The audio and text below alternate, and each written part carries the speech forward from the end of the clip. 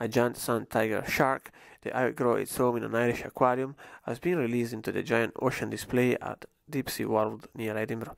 The 2.2 meter long shark, which weighed around 100 kilograms, travelled by road and sea from the southwest tip of Ireland to reach its new home in an ambitious 18 hour mission last week.